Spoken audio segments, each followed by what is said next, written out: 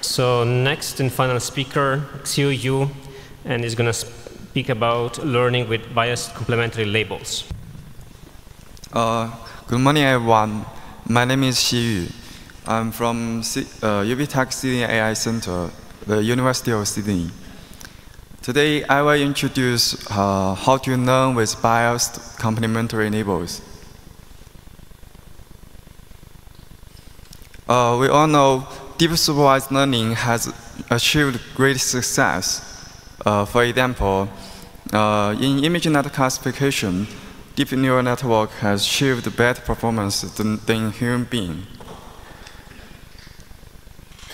But the success of the deep supervised learning is based on a very strong assumption. That is, all data are accurately and reliably labeled. But labeling a very large-scale data set is always expensive and time-consuming. Labeling millions of images may require tons of uh, engineers for several months. It will cost hundreds of thousands of dollars. So in order to reduce the expensive labeling cost, several surrogates for the data with true labels are proposed. The first one is the positive and unlabeled data. We are given a small set of positive data and a large set of unlabeled data. The second one is semi-supervised data. We are given a few correctly labeled data and a large set of unlabeled data. The third one is the data with noise labels. We are given a large amount of data with noise labels. A famous example is the Web Vision dataset. Uh, the data are downloaded from the internet by searching with keywords. Today, I will introduce a new surrogate for data with true labels. That is the complementary labels. In traditional supervised learning, the true label indicates a class that a feature belongs to. But in the learning with complementary labels, the complementary, complementary label specifies a class that a feature does not belong to. Uh, there are many advantages of complementary labels. The first one is Labeling complementary label is label saving and probably does not require too much expert knowledge. Here is an example. We can assign the complementary labels by the machine using techniques such as transfer learning. Give us large set of unlabeled data. We use a pre-trained model to predict the labels. After we have the predicted labels, a simple judgment can be done to verify a label is true label or complementary label. For example, if a label is correct, it is the true label. If a label is incorrect, it's a complementary label. Today, we mainly focus on the complementary label. We can also uh, assign the complementary label by uh, using random strategies Given a nice set of unlabeled data, we can select a label from the label set using the rounding and the equal probability. After we give the predicted label, we, also, we can also uh, do a simple judgment to, to get the complementary labels. Um, there are also some other advantages of complementary label. For, for example, a learning with complementary labels share the same learning process with traditional supervised learning. It also enjoys not too much decrease of the performance. Uh, to begin with, uh, we need to introduce uh, how can we model the annotation of the complementary labels.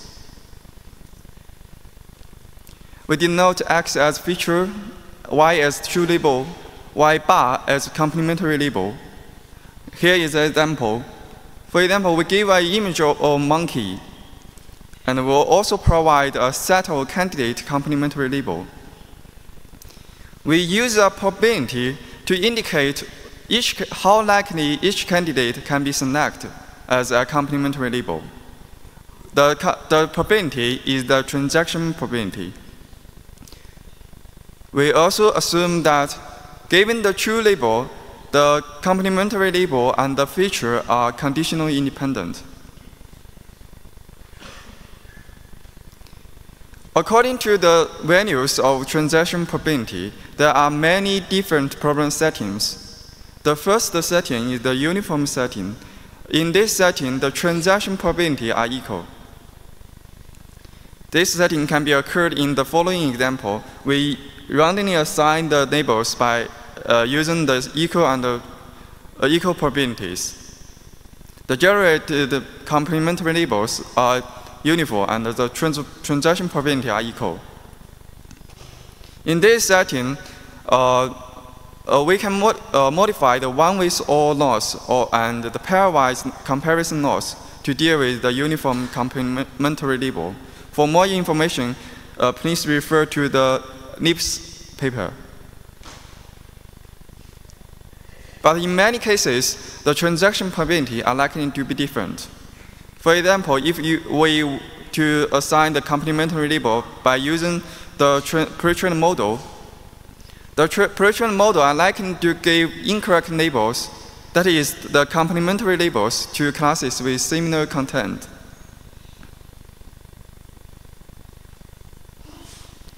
But existing methods are not designed to deal with the biased complementary label. That is, the, the transaction probability are different. This motivates our method to learn with biased complementary labels. Uh, the contribution of our, our method are, first, we provide a general method to modify traditional loss function and to extend standard deep neural network classifiers to learn with biased complementary labels. Second, we prove that the classifier learned from the biased complementary labels can be identical to that learned from the true labels. Third, we prove that the generalization error converges fast than, faster than many existing methods in, the, in some wild conditions. We also can estimate the transaction probability with no bias. Today, we, I, in this talk, I mainly focus on the first contribution. For more details about the theoretical results, please refer to our ECCV paper. Okay, uh, uh, before introduce our main framework, we need to figure out an important relationship. That is, we, how we can recover the information of py condition x from the py back condition x. The py condition x is the key to the, uh, get the classifier to determine the true labels. We can see the two conditional probability can be connected with the transaction probability we have the important relationship connected by the transaction matrix. Uh, if, the, if we can learn the conditional probability py bar condition x, we, we can then get the probability py condition x by inverting the transpose of the transaction matrix. Here comes our main framework.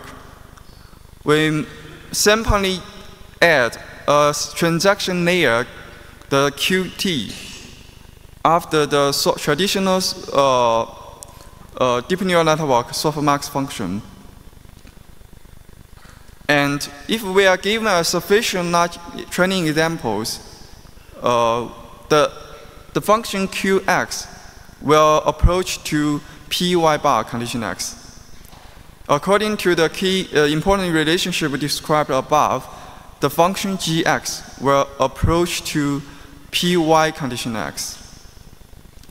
In this way, we can get a, a classifier that can predict the true label for each instance.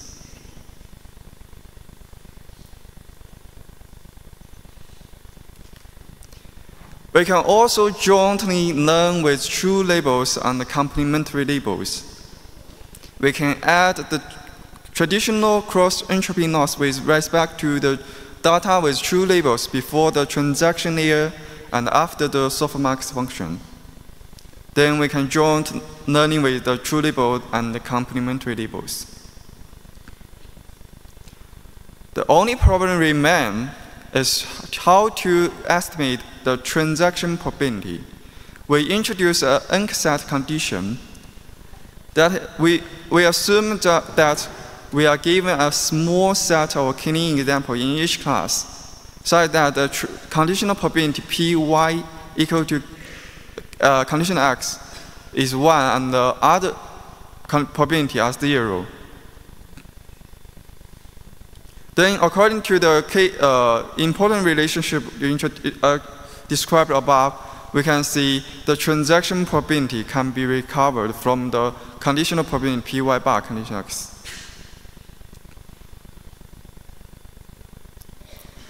And uh, here are some uh, experimental results. We first show the estimation of the transaction probability on different settings. The first setting is the transaction matrix have some entries, uh, zero entries. And the second setting is uh, the, the transaction probability uh, are non-zeros in the transaction matrix. We can see if we give a very small set of cleaning examples, for example, uh, 10 examples in each class, good result can achieve to estimate transaction probability. We test our method on the uniform setting. Uh, the, we conduct the experiments on the USPS and UCI datasets. In this setting, the transaction probability are equal and known. We can see both the pairwise comparison loss and all method achieve good performance. We also conduct experiments on the bias setting uh, on the dataset MNIST, CIFAR10, CIFAR100, and Tiny ImageNet. We can see that all methods can achieve better results on both the uniform and bias setting. Uh, we can also see that the performance of learning with biased complementary labels are close to that of learning with true labels, especially in the with zero set setting, the last column.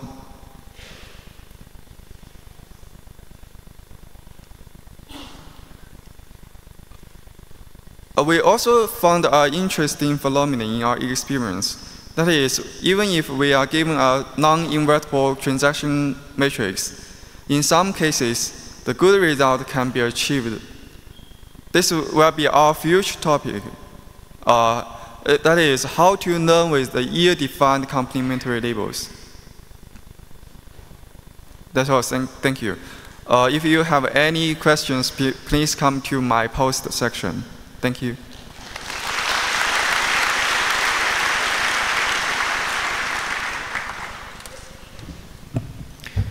Are there any questions?